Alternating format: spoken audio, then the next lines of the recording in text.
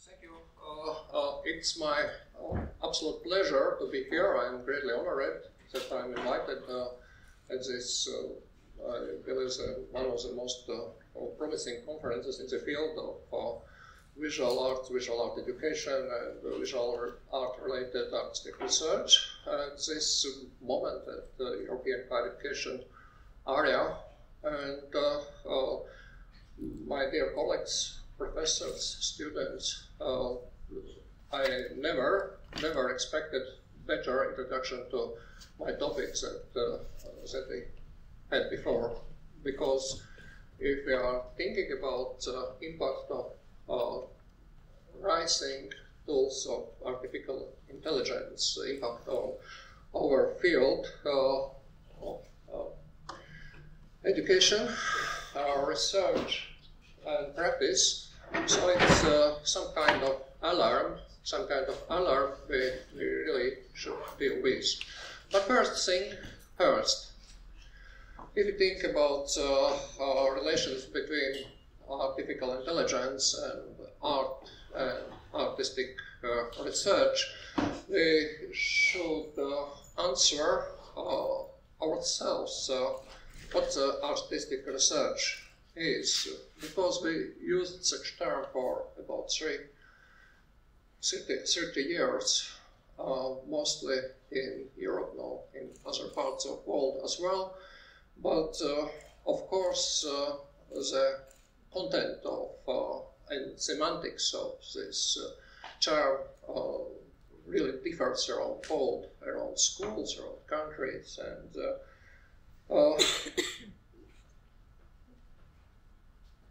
let's uh, uh, let, us think this little exercise. Uh, how much of us are practicing artists, how much of our practicing researchers who is dealing with field of artistic research. please raise hands who are practicing artists who, who conducted art practice last year. Thank you. Now, please raise hands uh, who conducted artistic research last year. And uh, of course, uh, no raise hands who conducted traditional academic research last year. So mostly uh, there are uh, intersections between uh, people who conduct one or another kind of practice or research.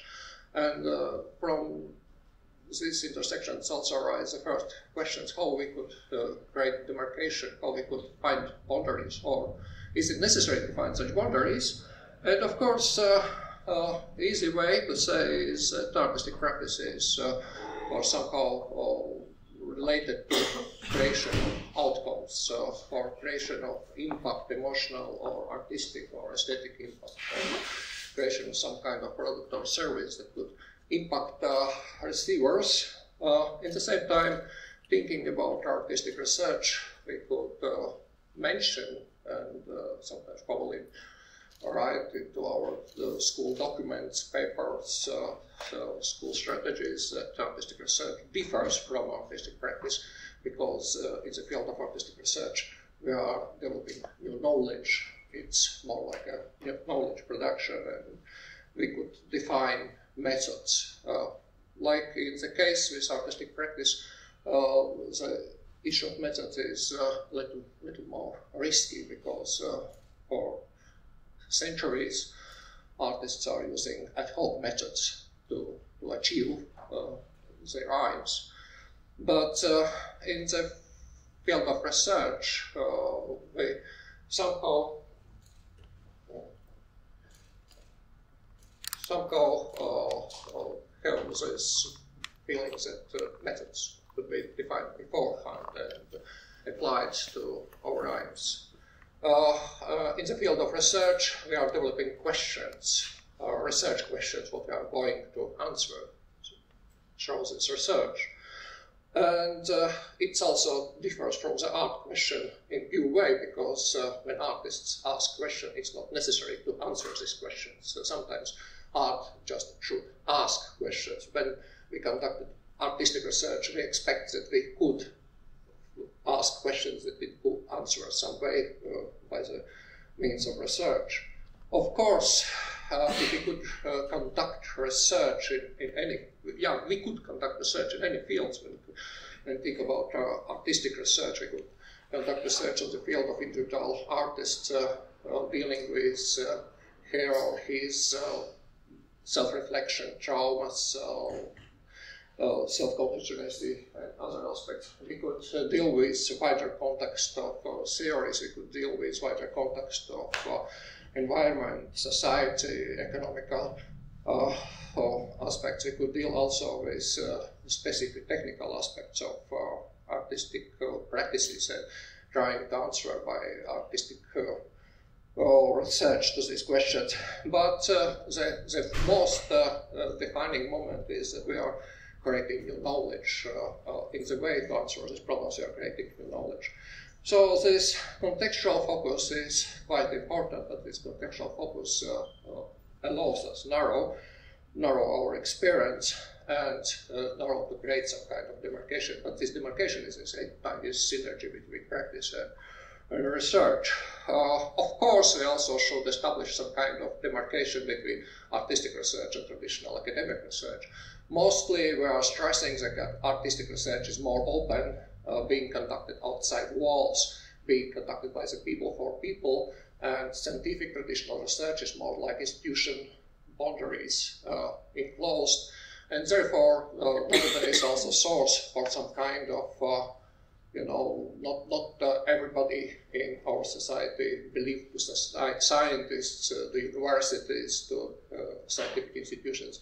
And it's uh, probably because of the type of the way of the research is being conducted. We believe that uh, by the means of artistic research we could open uh, these uh, doors and cover this gap. Uh, when we think about the next part of uh, subject we are addressing now, artificial intelligence, also, also we will, we will continue with this small exercise. Who is you who use the large language model like a ChatGPT? Who is using uh, this paid version of ChatGPT, ChatGPT Plus?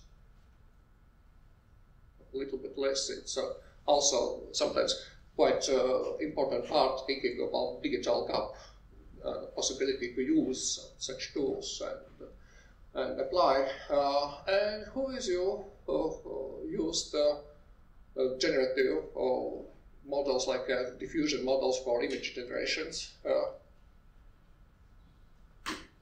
among these models, Midjourney, DALL-E 2, uh, stability diffusion, uh, pretty much good result. Imagen, developed by Google, uh, only place where to use inside Canvas, yes? And uh, uh, this also uh, show uh, extension by which uh, artificial intelligence tools are inside our e even everyday life. And I really believe these tools will be even more broad uh, embedded in the way how we are living, thinking, and particularly important how we are working as an artist, how we are researching as artistic researchers, and how we are also researchers as academic researchers. Thinking about uh, uh, artificial intelligence tools, we could make some small distinction between artificial intelligence generated art where we put most of the decisions and we are somehow expect uh, something unexpected from the models we are using, like uh, just providing quite simple prompt. Uh, this uh, moment of Midjourney, Karl Marx as robot, or sometimes more uh, more sophisticated prompt where uh, artificial intelligence uh, is more like assisted tools that we are trying to uh, try to drive, try to steer to our uh, goals that we uh, was defined before. And thinking about these two aspects, how we could use tools of artificial intelligence, we could start imagining how we could use artificial intelligence generated in assisted art in the field of artistic research. But it's like a first, uh, first dreams, first uh, expectations, just uh, first iteration. We could use uh, artificial intelligence as creative partner and at this moment while the tool of full journey, we ask it to describe image and then we use this uh, description as a prompt to create that set of next images.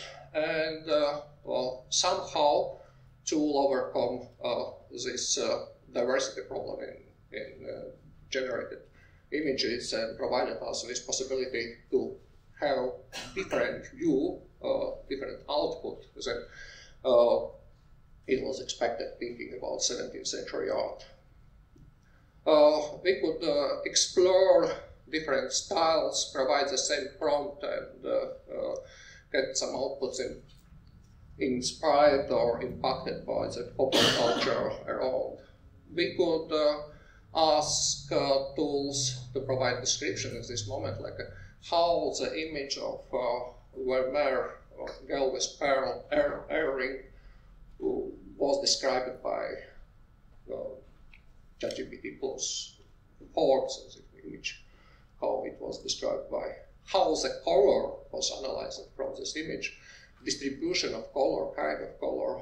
And uh, then we asked uh, ChatGPT Plus to generate uh, image based on this uh, distribution of color, and we get some kind of perfect replica of the girl with pearl ring. Uh, perfect replica in the sense the same amount of colors in the same uh, distribution of colors, or there's something different. So we could open reflections about what we are dealing, what we are creating, and how it is related, and how we could another point of view on the things that we uh, like expected to be so in one way. We could uh, uh, create cross-disciplinary research and get output that also describes this image uh, with uh, Vermeer reproduction of Vermeer girl with uh, pearl ring, but described different in the language of Python, uh, programming language of Python that would also create some amount of data that could be delivered, uh, extracted from this image. We could uh, use uh, artificial intelligence tools, open discussions, discussions about uh, place of art, place of art in our everyday culture. We could never use original image to discuss about stopping oil, but we could generate image where the, the girl is looking at the oil rigs as such. And of course, we hope that we could uh, that we could somehow uh, somehow expand our boundaries.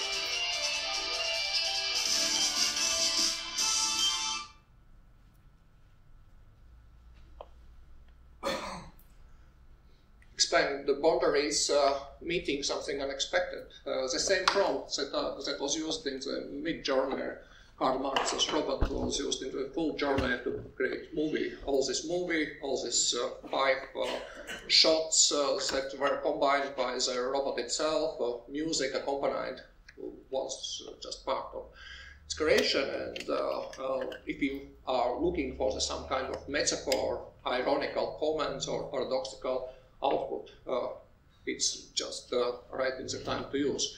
But as I always discuss with my students, before you start use artificial intelligence tools, there are several ethical questions that you should address. First, artificial intelligence tools, uh, ordinarily from our point of view, is black box. Uh, sometimes also from the point of view of uh, programmers themselves, uh, not all that they could explain, but uh, it's black box, black box problem. As I mentioned, data privacy and consent to use some kind of data, authorships, intellectual property. It's uh, absolutely burning questions. There are several open processes, and we could put in mind bias and representations bias uh, that particularly could affect your outcome. Uh, as uh, Amy absolutely elegantly pointed out before, that uh, uh, the way how information is being generated is absolutely depend on the information being prepared before. So not always we know how the models were trained. Uh, the evaluation of human creativity, we saw around the world that uh, there are plenty of times being stressed that something is being created by uh, artificial intelligence and uh, diminishing the role of the human before uh, ownership and attribution. like in this uh, well-known example from the OpenAI, one of the first like ad being used uh, last year in August when OpenAI put the the delegate to on the you know market of ideas.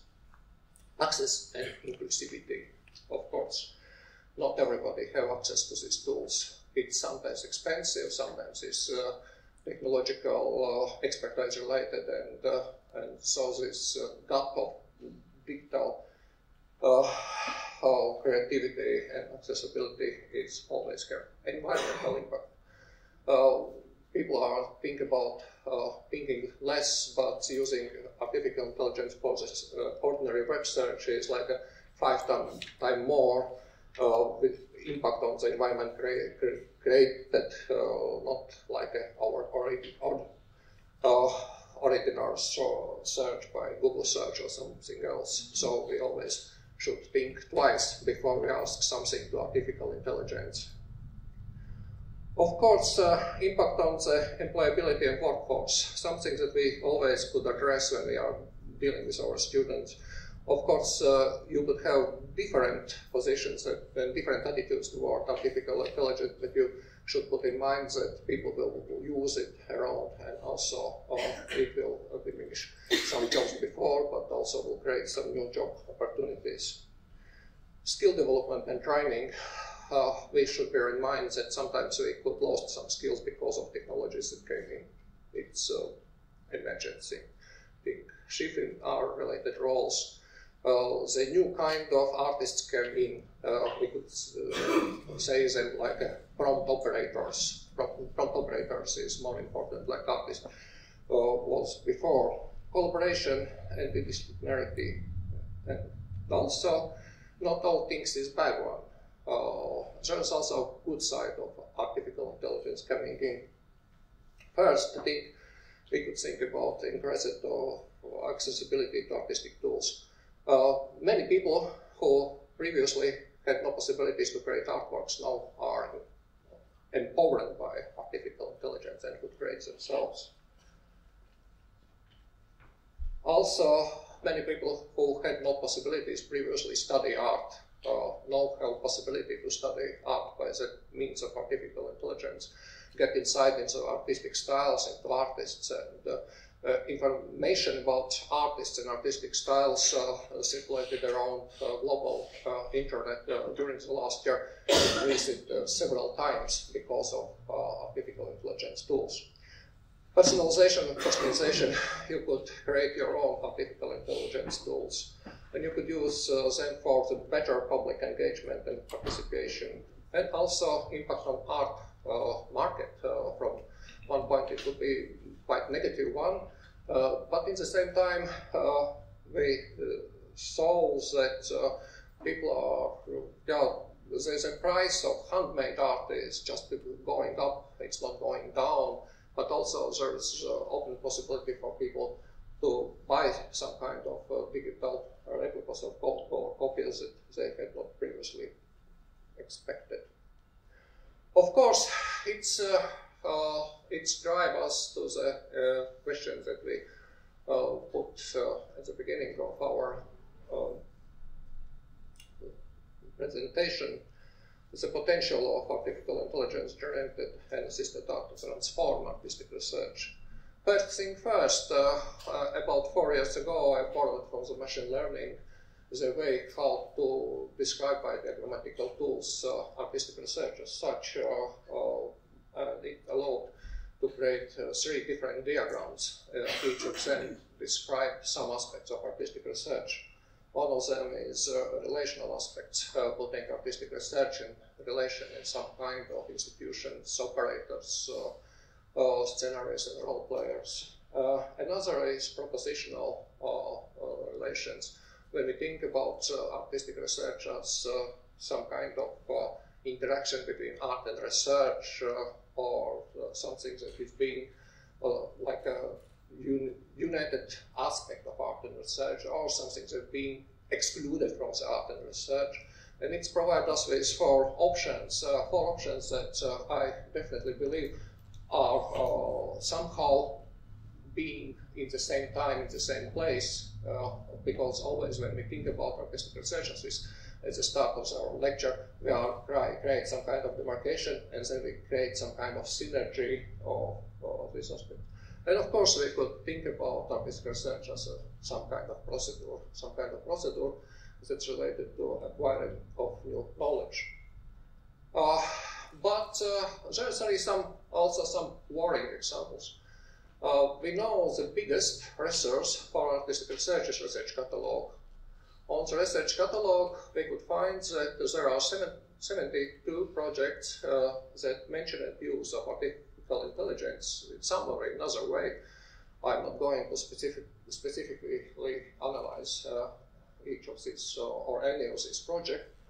Uh, seven of them mentioned use of Midjourney, uh, and this uh, number somehow varies. Uh, at the morning I found only five projects with Midjourney, but I, I, I, will give my word that two days ago there were seven projects where the Midjourney was mentioned. But of course, people are uh, free to change uh, text that accompanies a project that is uh, five mentioned use of ChatGPT, five mentioned use of DALL-E, and our biggest surprise, nobody mentioned use of stability diffusion. Uh, but at the same time, stability diffusion itself created absolutely new kind of phenomena. There are, uh, because the uh, stability AI provided in open source this model, there are hundreds or even thousands of models being trained by the enthusiasts around the globe, and they produced millions of uh, different kind of images per day, and at the same time, it's like something that uh, colleagues from the field of artistic research is not always uh, admit as possible way how we could use, and yeah, we could easily use to train these models by our own or, or any other artistic well, so it uh, brings us to some kind of conclusions. One of them is uh, any, any, any time when we are using artistic uh, research uh, that would be assisted by artificial intelligence, uh, this kind of research we should define as ethical inquiry. Ethical aspects always should be put uh, in the first row. technologies should be used to create more democratic and collaborative world. It also should be some kind of uh, uh, some kind of rule that we could follow.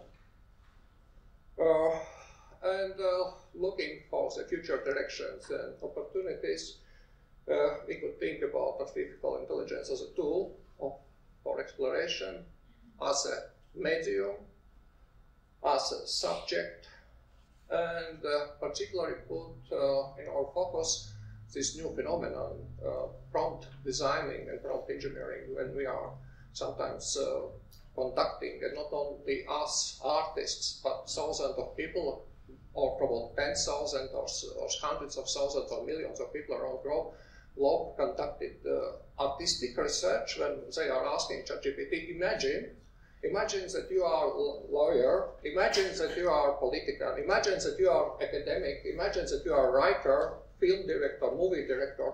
Imagine that you are SC artist. And uh, in such a way you get the output you expected or, or your hopes that you would get such kind of output. And this uh, uh, brings us to the new frontier, uh, to the new ultimate goal of use of uh, artistic research together with artificial intelligence.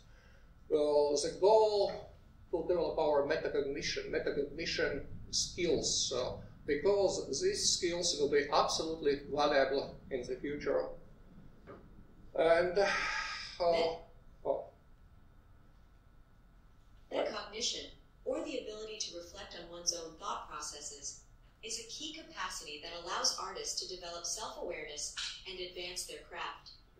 By integrating AI systems that can analyze creative workflows, artistic research has the potential to take metacognitive reflection to new heights.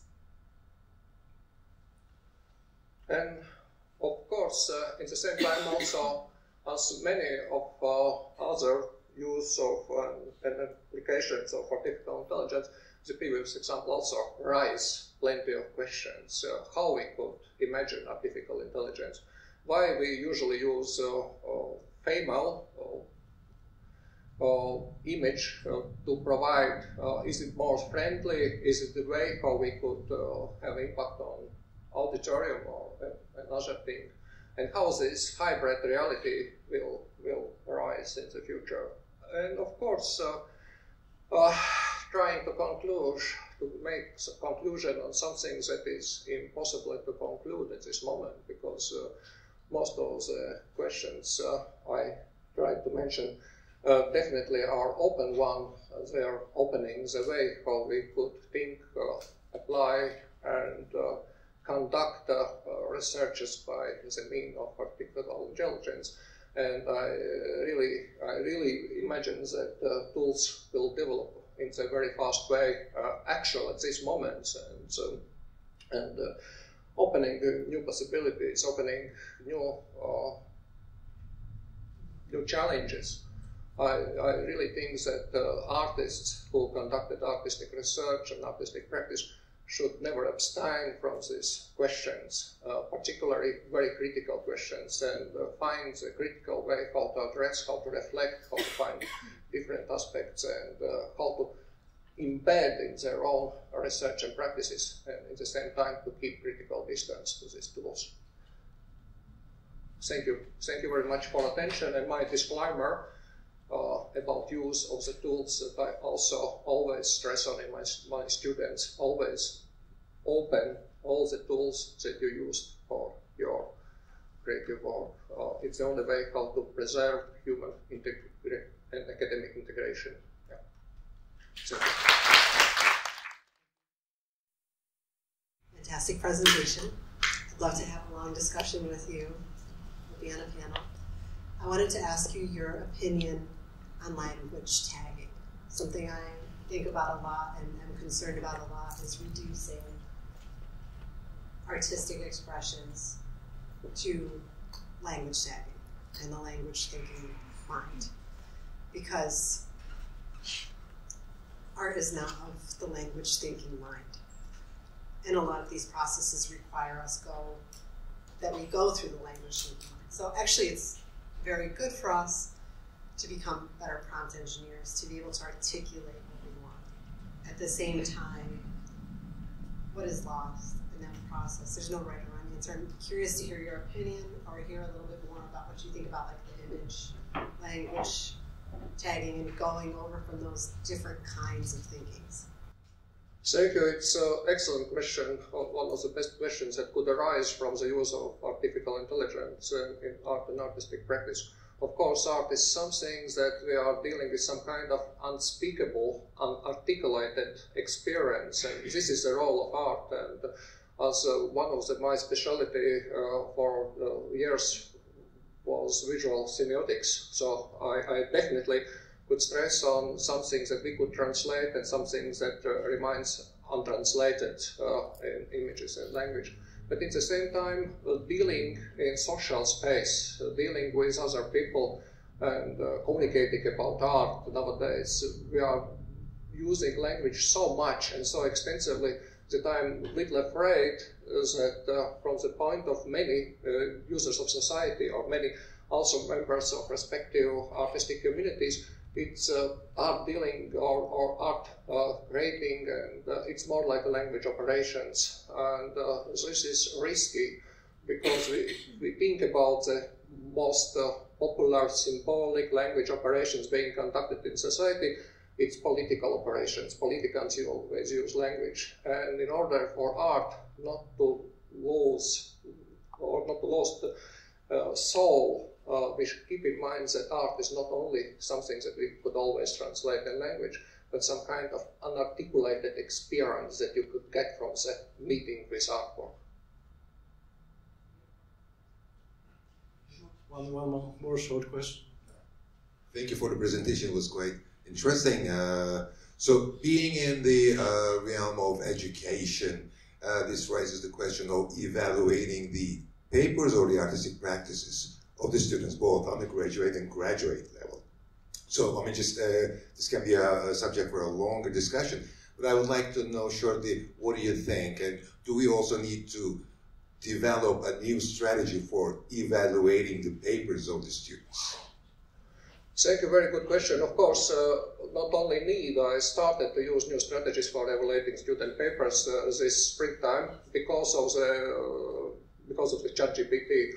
And uh, one quite a simple way how I add to my um, my uh, exercise uh, of creation papers, I asked the students to create half of this paper, paper by the use of ChatGPT and half by themselves and to compare it, critically compare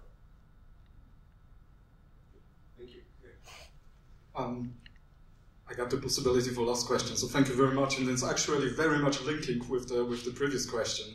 Um, so looking, I would say, looking from the perspective of education, as kind of you, you said, you're working with the students. Um, it's easier sharing the kind of the, the, the, the, coherence of the of evaluating the written text. It's obviously very often easy to score because it's better than the students would be writing it themselves. That's at least uh, uh, my uh, impression. But I would be interested in the kind of wider image of this. All of the tools you presented, what kind of does it bring with itself change in the curriculum, in the kind of in the way how we're teaching the disciplines? Is it is it just additional tool which we kind of we're training students for for additional prompts, additional way of interacting, or is it something embedded in the deeper changes in all of the structures, how we're teaching art, how we're teaching design, how we're teaching maybe humanities altogether. Sorry, that's probably a really long question in the end. thank you, thank you. Very good question. Uh, at this moment, of course, uh, we could uh, just mention the methods that we are using. Actually, of course, there will be more methods will come in. The, one of the first methods that uh, arise from the use of artificial intelligence tools is fast prototyping uh, in our academy because uh, we're trying to, visual artists and also designers, fast prototyping usually uh, was area for designer training. But now with these tools, I also ask my students in visual art uh, to create some kind of art fast prototypes uh, that uh, previously were mentioned like paper prototypes, but nowadays they could create prototypes by using these generative artificial intelligence tools. And they could critically analyze did they like it or did they not like? Because, for example, this Midjourney, they created some kind of aesthetical uh, program that's being uh, with high impact around the globe, but as a result, uh, you could, uh, you, know, you could in the exhibitions or other places, you could also fast uh, select. Uh, this was inspired and created by prototyping in even painters use it to Midjourney to prototype their, their ideas, but uh, I believe that the first thing is uh, to look at this critically. So critical, critical attitude to fast prototyping. Uh, two methods.